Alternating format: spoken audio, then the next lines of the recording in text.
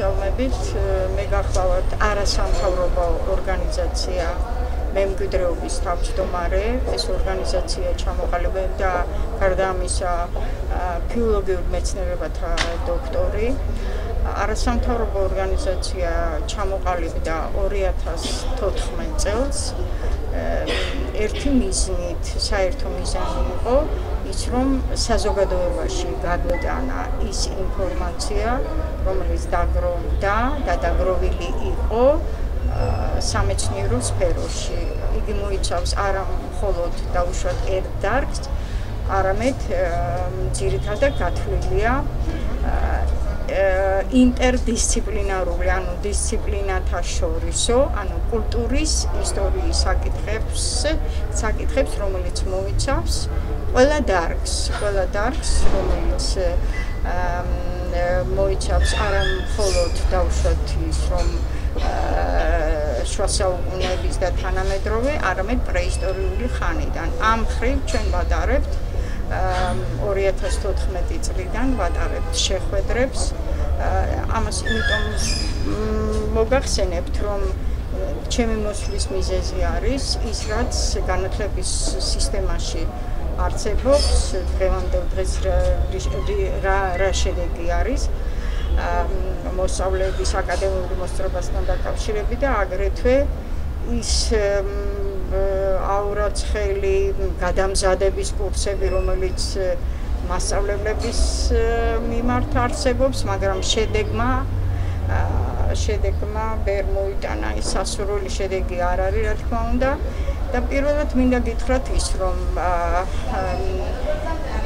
ეს რეფორმები, რომელიც განათლების სისტემაში დაიწყო განსაკუთრებით ლომაიას პერიოდში, როდესაც სამწუხაროდ განათლება და განათლების სისტემა და მეცნიერება, განათლება და მეცნიერება გაემიჩნა ერთმანეთს, რომელმაც მოიტანა ის, რომ ესე იგი პრინციპულად მეცნიერების ის კვლევის შედეგები არ გადადის სასკოლო სახელმძღვანელოებში უფრო მეცად გეტყვით. ის რაც ტრეინინგებით თავარია არა მარტო ფორმალურად ჩაატარო ტრეინინგი. არამედ ის რაც წერია რაც რეალობაში შეესაბამება და რაც თავარია ის ახალ სამეცნიერო კვლევებზე. რა რისკენ მიმყავს ეს ყველაფერი? მიმყავს იმისკენ რომ აუცილებლად მოსწავლეს პირველ რიგში მოსწავლეს უნდა ქონდეს мотиваცია мотивация იმისი, რომ მას უნდა გქონდეს მოთხოვნა იმის დავუშვათ კონკრეტულად ისტორიის სახელმძღვანელოს, დავუშვათ იმის, რომ ზოოლოგიის სახელმძღვანელოში სიტყვაზე ვამბობ, რომ არის ევროპული ქვეყნების, აფრიკული ქვეყნების ცხოველებზე, მცენარეებზე საუბარი და ამ დროს ქართული მასალა ნაკლებად არ შეტანილი. ეს არაფრით არ შეიძლება.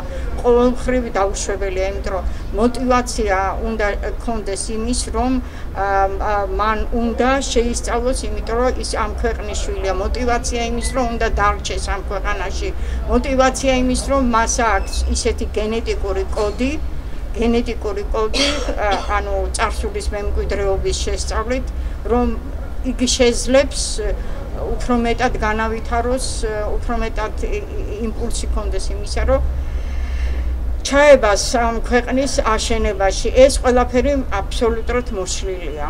აი სწორედ ამ ინდიფერენტიზმა, რომელიც ახალგაზრდებში ახალგაზრდებში არსებობს, სწორედ ამის შედეგია. და მინდა გითხრათ, რომ ისეთი არ ვიცი ხა რამდენად შესაძლებელია ეს, მაგრამ საზოგადოებრივ მაუწყებელი მიუხედავად იმისა, რომ ჩვენ როდესაც ვატარებთ ჩვენი ორგანიზაცია მემკვიდრეობა, ჩვენ აუცილებლად ვაცნობებთ ამის შესახებ განათლების სამინისტროს. განათლების სამინისტროდან არანაირი რეაქცია არ არის ამაზე. დაუშვათ იმას, რომ არ ვიცი, ეს უბრალოდ ინდიფერენტიზმია თუ ჯერად ჩვენი თუ საერთოდ არანაირი დამოკიდებულება არ არის. ეს ყოვლა დაუშვებელია, ყოვლა დაუშვებელია, იმიტომ რომ ხარისხზე არის სამუშაო და არა კოსმეტიკაზე, რომელთაც დაკავებული არიან ამდენი ხნის განმავლობაში სამინისტრო და ის ის ის რაც გაწერილია მაგათ კანონებში ის აუცილებლად უნდა შესრულდეს და გარდა ამისა არსებობს ერთიანი ჯაჭვი. ეს არის განათლების სამინისტრო კულტურის სამინისტრო და მეცნიერებათა აკადემია რომელიც უნდა რომელიც უნდა რომელიც უნდა ქმნიდეს идеოლოგიას, идеოლოგიას არა ვამბობ. ესე პოლიტიკურს, არამედ კულტურის идеოლოგიას, რომელიც პირდაპირ კავშირშია სწორედ იმ мотиваციასთან, რომელიც უნდა გააჩნდეს, რომელიც უნდა შეძლოს, უნდა შეძლოს ეს ყველაფერი უნდა იყოს ხარისხიანი ცოდნის მასწავლებელი, შუამავალი და შემდეგ უნდა გადასცეს ეს მოსწავლეს.